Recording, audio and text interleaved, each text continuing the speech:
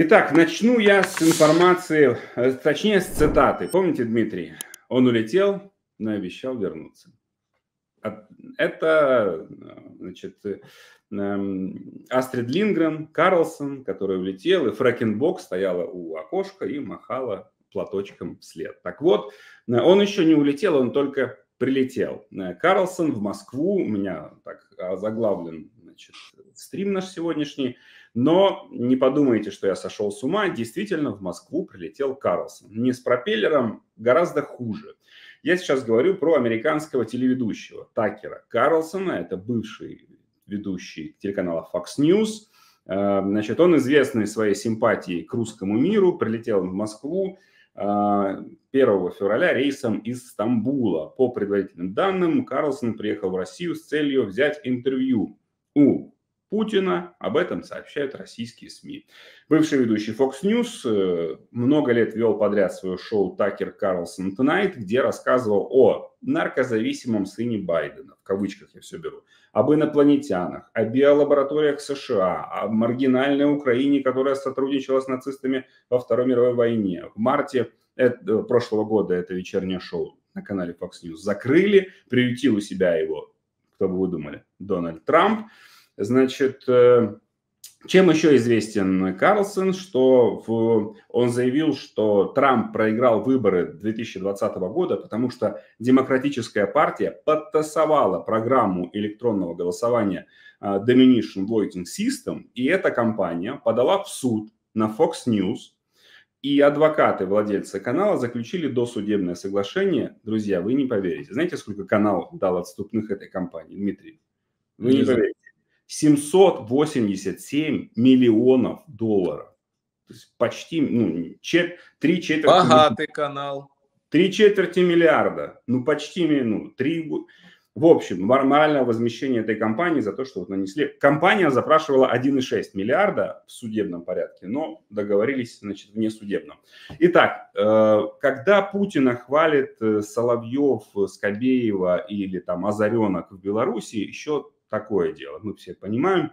Информационная война и их бойцы информационного фронта нам давно известны, противны, ненавистны и так далее. Но мы к ним уже привыкли. Но тут едет целый э, Джон Восьмеркин американец. Помните фильм? Вот целый американец приехал в Москву, его по балетам сейчас возят.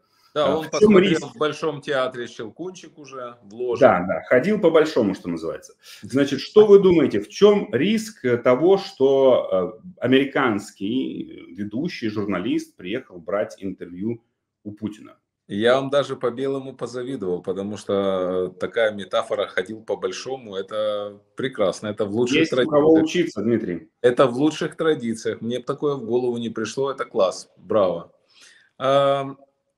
Э, Такер Карлсон э, фигура одиозная, безусловно. Я не знаю, приехал ли он э, один в Москву или с Фрэкенбок. Я не знаю, получит ли он за интервью с Путиным от России какие-то деньги, потому что многие агенты влияния России получают от нее за это деньги по всему миру. Я не знаю, завербован ли Карлсон российскими спецслужбами. Но у меня есть э, несколько четких моментов понимания. Первое. А, приехать в Москву сегодня и брать интервью у Путина может только подонок. Второе. У меня есть ощущение, что Такер Карлсон борется не против Байдена или против Украины, а против Соединенных Штатов Америки. Потому что интересы Соединенных Штатов Америки – направлена на то, чтобы Украина победила эту коричневую чуму 21 века Россию. И если человек имеет противоположные взгляды, то он идет, его позиция идет в разрез с позицией его страны. А, третье. Совершенно отвратительное действие, когда он будет брать интервью у Путина. Э, мне даже Трудно представить, что там будет, но это уже похвалила Ксения Собчак. Вот, мол, здорово, потрясающе. Как они все, когда наступает момент X, дудят в одну дуду. Потрясающе. Дудят, дудят в одну дуду, но дудь в этом был не замечен. Дудят не от слова дуть, да. Это Юрий будет дуть, а эти дудят. А, значит, э, фу, отвратительная вонючка. Не хочу даже о нем говорить. А я, пока вы говорили э, ну, про прилет, прилет э, Карлсона, подумал, что э, фраза «малыш и Карлсон» так будет называться интервью Карлсона с Путиным. Вы сегодня в ударе. Спасибо большое. Как и Виталий Кличко. Виталий Кличко был бы рад, потому что удар – это его партия, а вы сегодня в ударе. Слушайте, ну, Спасибо. малыш и Карлсон, э, Путин и этот э, Такер Карлсон, это блестящая опять метафора. Счет 2-0 в вашу пользу сегодня. Спасибо безоговорочно, большое. безоговорочно проигрываю. Малыш и Карлсон, браво. Так, отлично. Начало хорошее, спасибо большое. Так, э, Дмитрий, давайте с вопросом. Смотрели ли вы вчера национальный отбор Евровидения? Василий, нет, не смотрел и объясню почему. Мне глубоко не интересен этот конкурс. Я понимаю, что э, вызову возмущения участия нашей уважаемой аудитории, как Евровидение, ну, мне вообще не интересно. Это политический, я считаю, конкурс, далекий от музыки, когда такая система голосования – ну, понятно же, что русские не будут голосовать за, украин, за украинцев, и белорусы не будут, допустим, а может и будут белорусы. Понятно, что армяне не будут голосовать за азербайджанцев, азербайджанцы за армян. Понятно, что хорваты не будут голосовать за сербов, а сербы за хорватов, ну и так далее. То есть это чистая политика. Это несправедливый, я считаю, конкурс с сомнительными исполнителями, там фриков куча. Я его не смотрю, мне это не интересно. Я вчера посмотрел э, последний фильм, ну, крайний фильм Романа Поланского «Дворец», и всем советую, посмотрите, потрясающее кино, Роман Поланский «Дворец». Посмотрите и скажите, дядя Дима, спасибо, классный фильм. Я давеча посмотрел крайний фильм Люка Бессона, называется «Догман», и у меня противоречивые, значит, чувства. Э, советовать э, не буду, не потому что сто процентов плохой фильм. Например, «Супруге моей понравился». То есть на любителя. Так что, если есть любители Люка Бессона, пожалуйста. Почему я заговорил про Евровидение, Дмитрий? Примечательно, тут две есть по, под темы. Во-первых, вчера сломалась Дия. Наша самая лучшая, хваленая в мире, а, ну, и тут без сомнений, без доли иронии. Дия, безусловно, шикарное приложение, которое взяли на вооружение уже в других странах.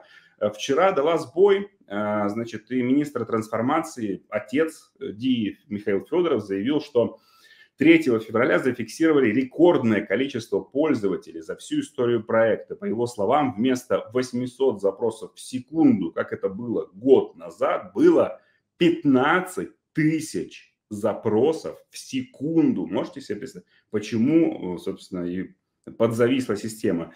Министр добавил, что значит, увеличили мощность DI в 5 раз, э, но сейчас DIA уже работает. У кого-то, кстати, впрочем, у меня тоже, э, пропали тех ну, документы на автомобиль, поэтому будьте... А может их и не было? Ну, автомобиль же есть. Автомобиль есть, а документов, возможно, не было. И документы тоже были, поэтому я хочу предупредить, будьте внимательны, если вас вдруг остановит полиция, и вы захотите показать в ДИИ, что это ваш автомобиль, ну, не получится. Ну, или проверьте, по крайней мере, и возьмите пластиковый. А еще, Дмитрий, про то, что стоило Украине... Нет, с другой стороны зайду. Румыния отказалась проводить нацотбор Евровидения 2024 вместе с тем и выбирать представителя своей страны на конкурсе. Вся проблема в том, что у страны сейчас финансовые затруднения, из-за которых она не может позволить себе принимать участие в таком масштабном конкурсе. На сайте Прозора указано, что вечернее телевизионное шоу под названием «Национальный видбир на Евробашине 2024» стоил там, без нескольких э, сот гривен 11 миллионов гривен. Все эти деньги были уплачены из государственного бюджета Украины. И вот в соцсетях разгорелся спор. Как это, ну, получается, Румыния, у которой нет войны, Румыния, которая помогает украинцам, Румыния, которая там член ЕС и НАТО, не может себе позволить, отказывается, а мы вот можем себе позволить, при этом сами нам помогают западные страны. Как правильно? Правильно ли тратить деньги или на эти деньги, не знаю, что-то купить другое? Сначала э, о ДИИ, что касается ДИИ. Это блестящее изобретение Украины, которое запатентовано многими странами. Подавляющее большинство цивилизованных стран не может похвастаться вот такой идеей. И как тут не э, сказать добрые слова в адрес отца Ди, как вы сказали, Михаила Федорова.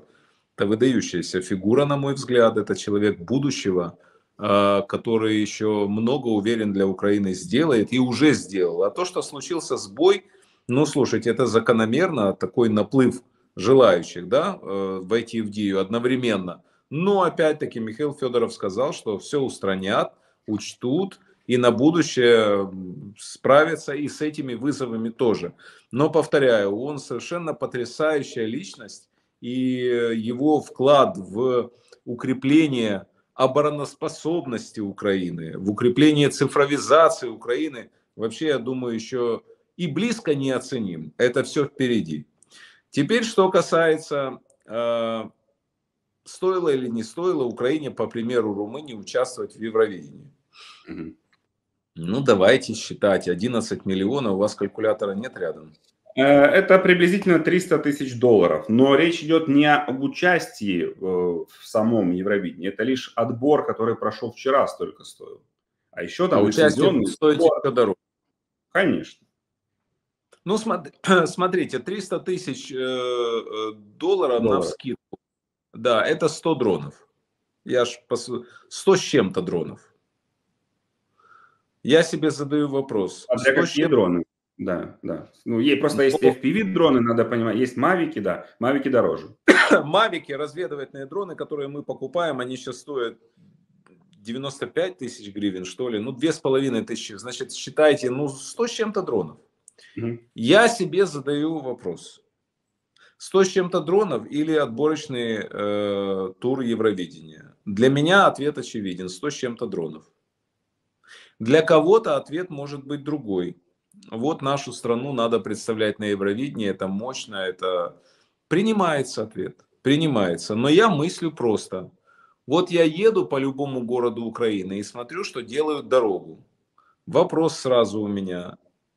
С этой дорогой можно потерпеть еще год-два? Если можно, эти миллионы, которые на нее потрачены, перевожу в дроны сразу. Ответ простой. Я считаю, что сегодня все, что можно следует направить на э, усиление, улучшение, увеличение боеготовности нашей армии и на зарплаты ребятам, которые находятся на передке, на, на первой линии обороны. Э, потому что я еще раз хочу подчеркнуть то, что я говорил. Я считаю, что за счет местных бюджетов каждому человеку, который находится на первой линии обороны на линии соприкосновения нужно доплачивать еще тысячу две, я не оговорился, долларов в месяц. Угу. И местные бюджеты с этим вполне справятся. Я в этом уверен. Потому что много средств из местных бюджетов по-прежнему банально разворовывается. Потому что у нас, несмотря на войну, несмотря на то, что казалось бы, надо всем работать в одном направлении – по-прежнему уйма чиновников, которые тупо воруют бабки из бюджетов. Точка. Президент Украины Владимир Зеленский 4 февраля, то есть сегодня, посетил передовые позиции в селе Работино в Запорожье. Значит, об этом сообщают социальные сети президента. Цитирую Владимира Зеленского. Запорожская область, Работино, расположение 65-й отдельной механизированной бригады. Пообщался с защитниками, поблагодарил их и вручил государственные награды. Ча- честь быть сегодня здесь, поддержать воинов и наградить на их плечах сложная решающая миссия отбросить врага и защитить Украину. Гордимся нашими воинами, спасибо каждому. Э, Владимир Зеленский пожелал бойцам скорейшей победы. Вместе с Зеленским с ним был э, глава офиса президента Андрей Ермак на позициях. Э, Дмитрий Ильич, это невероятно, поскольку Работина находится, ну, буквально фактически на линии фронта. Если Но ну, это передавается. Deep State э, карту, ну, вы, друзья, вы увидите, что от Работина вот, ну, до нуля, ну, там, ну, вообще буквально ничего. Поэтому я себе с трудом представляю, помните, показывали Путин, там что-то приехал куда-то, то ли в Мариуполь, то ли ночью. Штаб, то штаб военного округа в Ростове он приехал. Ну, рассказывали, да. рассказывали, что якобы в Мариуполь, якобы... Если это Путин. Да, ну нет, он там еще и на Крымский мост приезжал, помните, там в начале что-то подъехал, покрутился, опять же, если это он. Я к тому, что невозможно чтобы представить даже, что Путин где-то появился на линии фронта. Владимир Александрович делает это, я не представляю, как поднимает боевой дух, конечно же, нашим бойцам, ну, что он своим примером, приезжая на нулевые позиции. Вот. Это очень круто. Тут, ну, без, безусловно, аплодисменты. Ну, у меня есть свое мнение по этому поводу. Оно немножко э, отличается от э, любого другого, и я объясню свою позицию. Э, меня приезд Зеленского э, на передовую, а это не первый, не второй, не пятый, не десятый далеко его приезд. Он часто приезжает и на Донбасс, и э, в Херсонскую область, и в Запорожскую область, там, где жарче всего. Меня это, конечно, впечатляет. Меня это, конечно, по-человечески восхищает. Хотя бы даже и с той стороны, что Путина на передовой мы ни разу не видели. А, и, ну, я знаю Зеленского, он очень смелый человек и решительный. А, но мне не нравятся эти поездки, я объясню чем.